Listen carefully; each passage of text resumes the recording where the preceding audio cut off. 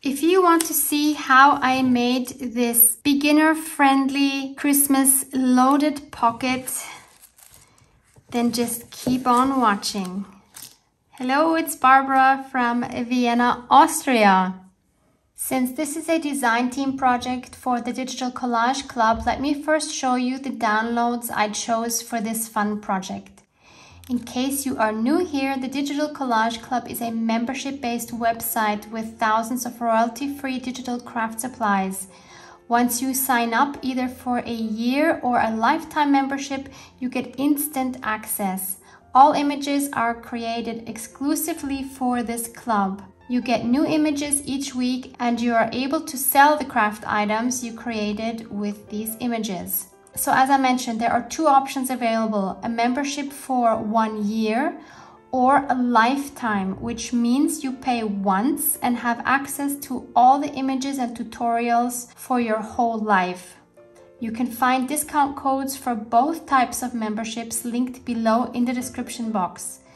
I would like to point out that I do receive a commission if you use these links. So it's also a huge help for my small creative business. As always, thank you in advance if you sign up or if you joined in the past using my link. Please note that in order to use my codes for the discount, you need to use the link below, otherwise it will not work. So all we need for the pocket is three envelopes. It doesn't matter how tall or how wide they are. They should not be the ones that are more or less formed like a postcard. So they should be the longer ones, but it doesn't matter what your exact measurements are. Also, it does not matter how your closure looks like, whether they're sealed like this or they have like this triangular flap, doesn't matter. You just need three that are exactly the same. So we're going to start off by closing off the envelopes. So I'll just add glue to this part and close that up. Wipe away any excess glue that squishes out. You could also just use less glue than I do. and I do that with the other two as well. Once all three envelopes are closed, I'm going to round the corners. This is optional, you don't have to do this. I'm going to do that on all three envelopes on all four corners.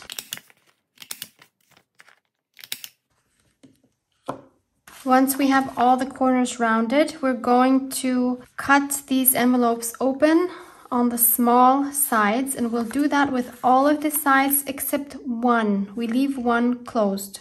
I'm going to do this with my paper trimmer. You can just as well do it with scissors.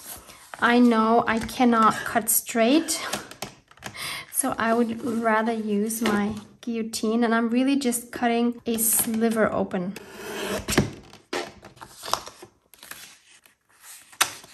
Like this. And now that I'm thinking of it, don't do what I just did. because if you do that, you won't have a nice corner. So obviously you need to cut your slivers first and then you round your corners, please.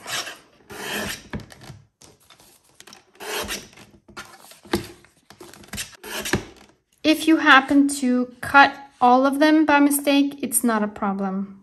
So since I didn't think ahead and my corners aren't nicely rounded anymore, I'm just going to go and round all those again.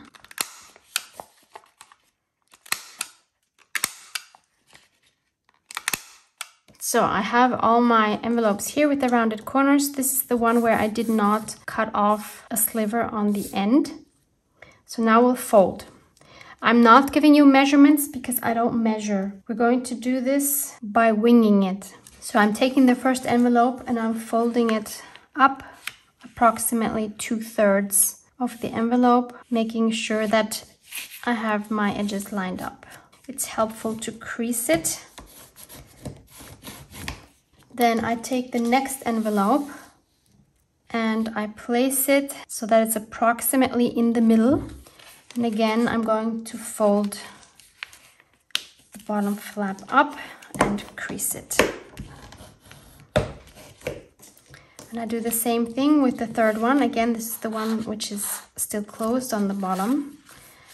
And again, I place it in the middle and I fold this up and crease it. So now I have this. And now what I want to do is I want to fold the tops down.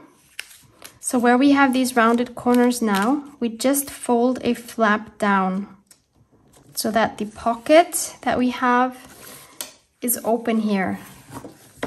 And then we crease it again. So that will look like this. And I do the same thing for all of my open pockets. I'll just fold them down, burnish them, and there's three more.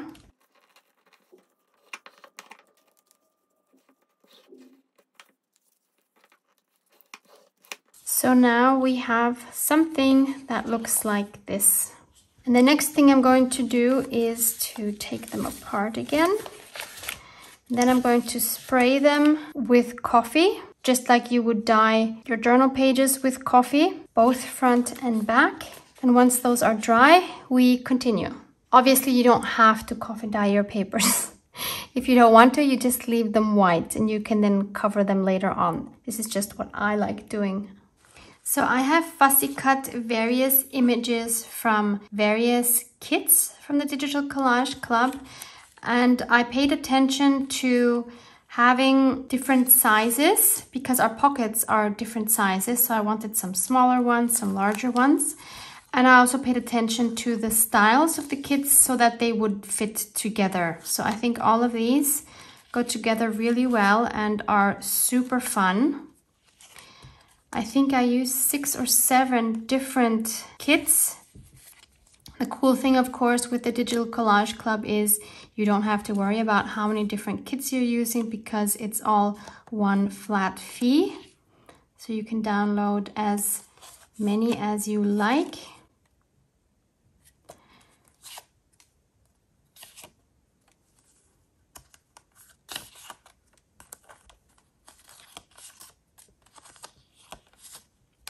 So I think this is a really fun variety of different items. And while it would be really cute to just add these to the pockets as they are, I think it's nicer when we give these pieces of ephemera a personalized touch so that we add a little bit more of ourselves into this project and whoever the receiver is will know that you've spent some time on it and it will make it that much more special.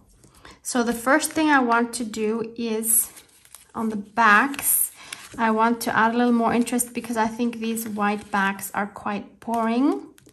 So the first thing I want to do is to just add some coffee. So I just take a few pieces of old newspaper, then I'm just going to lay out my pieces of ephemera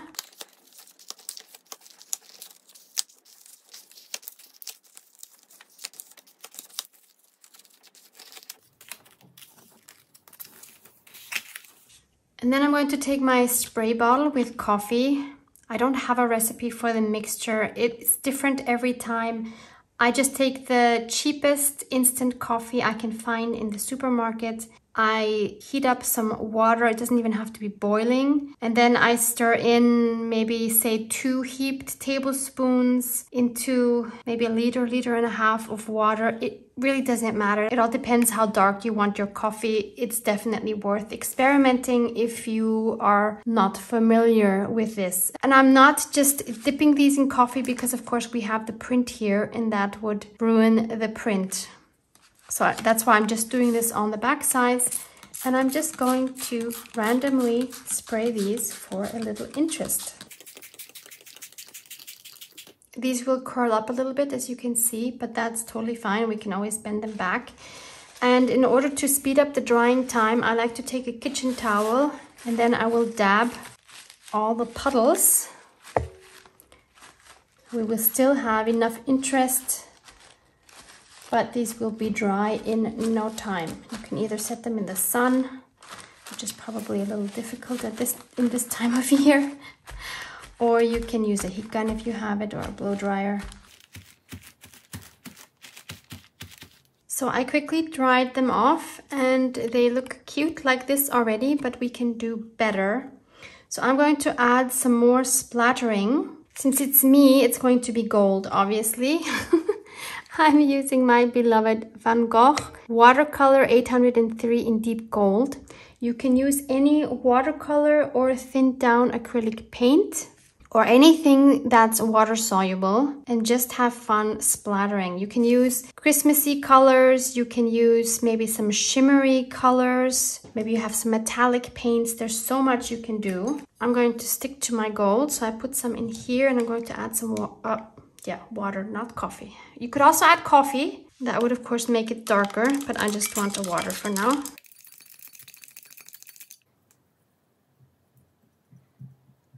And then I'll just have some fun randomly splattering.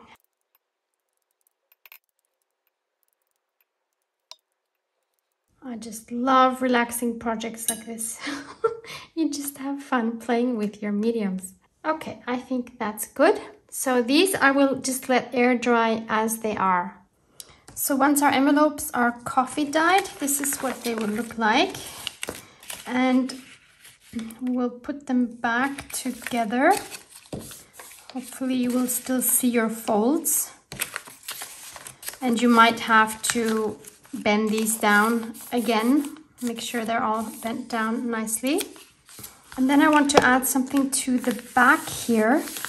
There's many different things you could add to the back. You could just spray it, you could stencil, you could stamp it, you could add some Christmassy themed cardstock. You could decoupage some Christmassy themed napkins.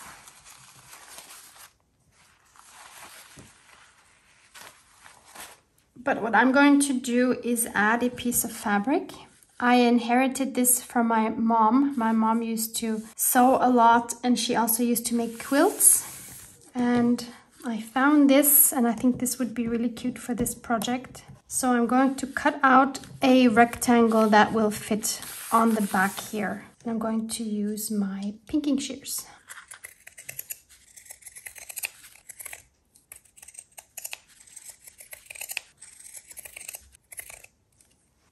I think the biggest challenge with pinking shears is to cut it straight.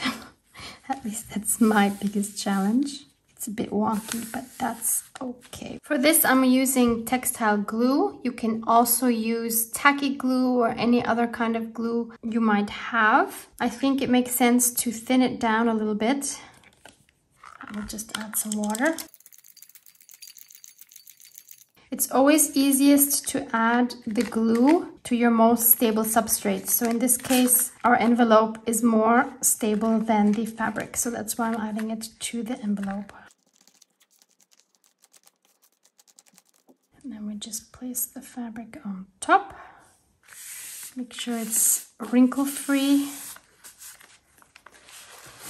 Wipe off any excess from these edges. Since I have some fabric left, why not use that to make another little pocket back here? So again, I'm going to use my pinking shears and just cut that a little bit more narrow than the other piece of fabric. And I'll also use the pinking shears for the top. If you have a sewing machine and you think about this in advance, it would totally make sense to cut this piece out and sew it on before you adhere the fabric to the envelope, of course. But we didn't do that. and I want this pocket to stand out a little bit more because at the moment, I think from the camera, you can't even see that there's a pocket. So I'm going to try taking some of my watercolor. This is the Van Gogh. And I'm going to take my brush and just go along the edges. I've never tried this before with fabric. but it seems to work. I could either just do this top edge or I could go around and do the whole fabric. I'm just going to leave the top edge. I think that's accent enough. This is what it looks like when it's dry. And now I can just adhere it on my three sides by just adding a little bit of glue on the three sides. And then I'd like to add one of these Merry Christmas printouts to the pocket. It's a bit wide, so I'm going to cut it down a little bit. So I'll just cut right outside that inner border.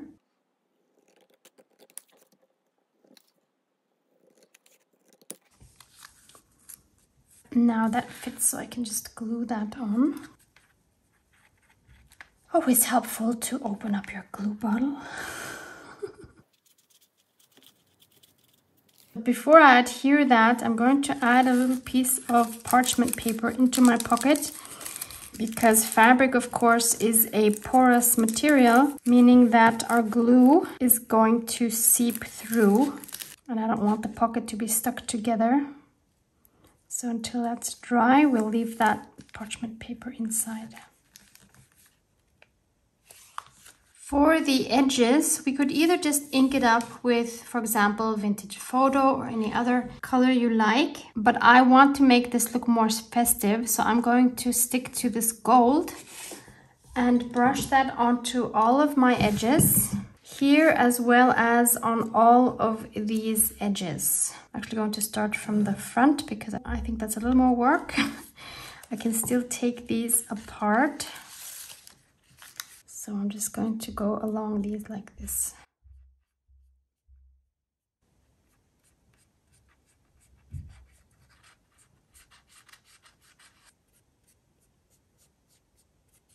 So I'll do that for all of my edges, also along the sides here and also around these here.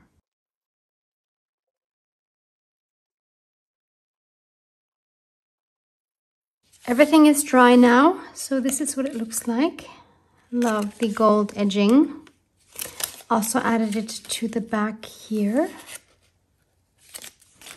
And now I want to add some more interest to these parts here. And I will do that with some stenciling. I don't have any Christmas themed stencils, but I have this one, which is Tim Holtz THS 032.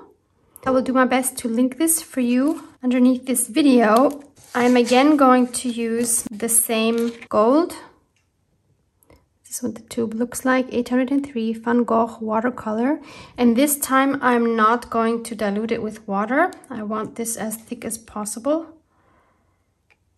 The beginning sometimes of this is quite strange. I'm taking a flat stippling brush. You can also use a little sponge or whatever you like to stencil with. Going to mix this up. It's a bit gooey. and I want to make sure I don't have too much on my brush. This is quite translucent. I'm going to squish this so I can hopefully mix it up a bit better. Mm, don't think that did anything. Okay, we'll see what it looks like. So I'm going to start on the top. So I'll just take this off. We're only going to see the very top of it. So I'm gently just going to stipple that. Super important not to have too much paint on your brush because then it will run through the stencil and it will look horrible. It's okay, could be better, but I don't know, something's wrong with this tube. I'll set this aside and we'll continue doing that for the others as well. And before I put my stencil down, I'm checking on the back here. See, I have some that went through. I want to be sure to wipe that off. Gently, gently, so we don't ruin our stencil. If you don't have a stencil, you could just stamp. So there's number two. Now we need to do this one.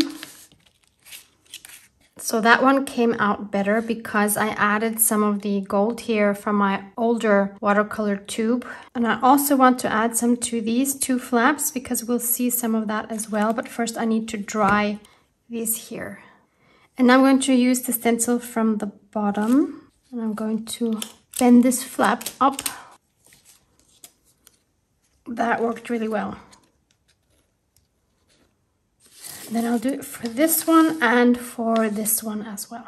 So the drier your paint, the better this is going to work. My, my, my paint is super dry at the moment, and that's when it seems to work best.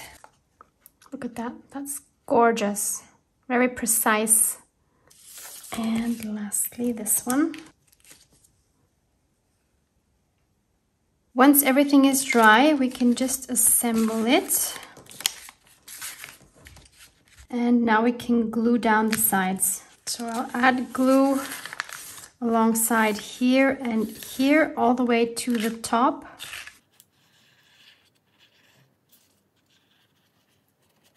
And I'll just set it here in the crease and press that down.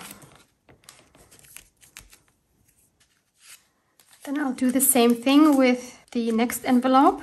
So I'll put glue on this side and on this side.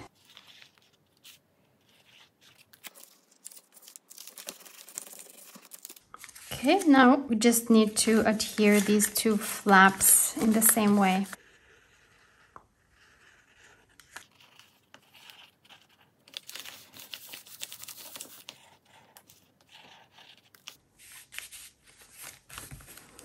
And lastly, we have this small one here. And now just to make sure that everything is glued down well, I'm going to use some clamps until that glue is dry. So the sides are stuck down well. We have 10 pockets in the front and we have one here in the back and I think I can take this parchment paper out now.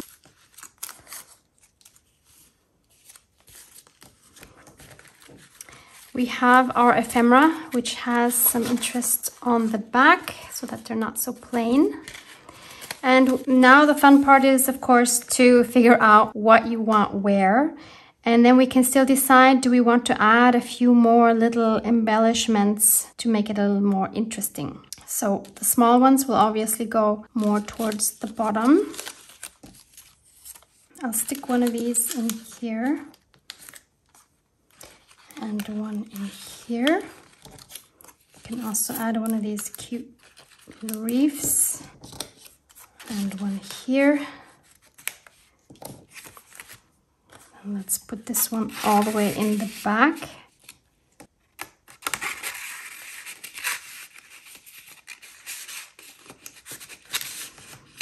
I also don't want to stick him in straight. I think it's cute when they are at different angles. Maybe we want to keep one of these for the back here. How about this little guy? He can just peek out like that.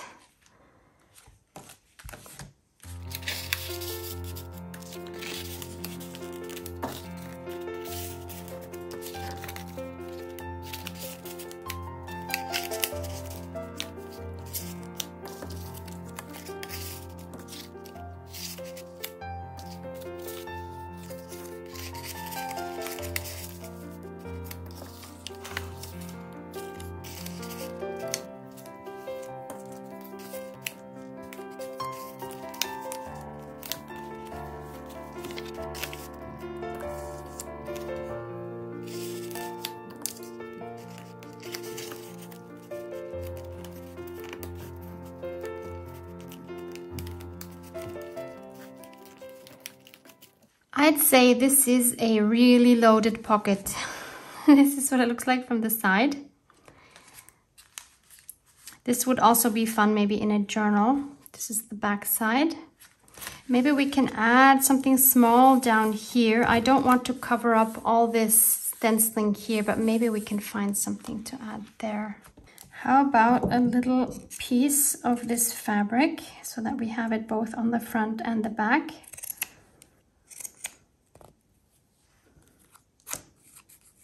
And then we could either add a cute button or I can also maybe use one of these dried hydrangea petals. They have gold splatters on them already, so they are good to go. So I'll just glue that down and maybe we can even add a bead or something on top of that.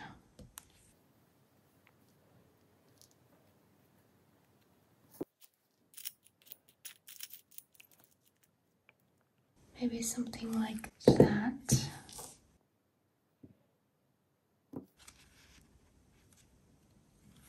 Then I cut out this Merry Christmas from one of these and I edged it with gold like I did with the envelope sides.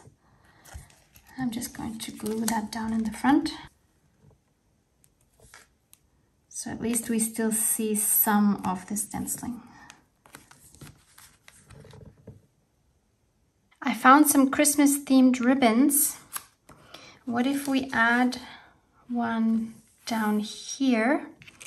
I think this gold one might look pretty. Just across like that.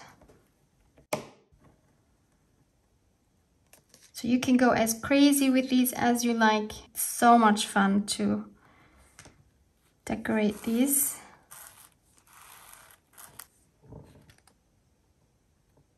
We could even add a fun little dangly thing. Maybe up here would be the best spot for that. Let's take this out. Let's punch a small hole. Let's take this out too. Probably best to punch right through both envelope layers. I'm using the small hole punch. I'm taking a small eyelet and then I'll set that. If you are a beginner, invest in a Crop-A-Dile. This is a tool you will have your whole life and you will love it every time you have a project where you want to add something fun. So there's my eyelet and I have a fun little dangle here on a bulb clip which I was gifted by my friend Sonia. Really cute. I think this is a great project to add that to.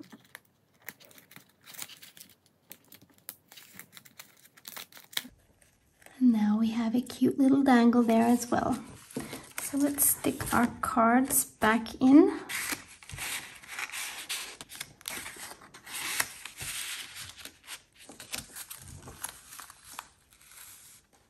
So that's my easy and fun Christmas loaded pockets. I hope you really enjoy making your own, gifting it to a friend or a family member maybe, or adding it to your own journal as like a floating pocket. Love you guys. Mwah, mwah.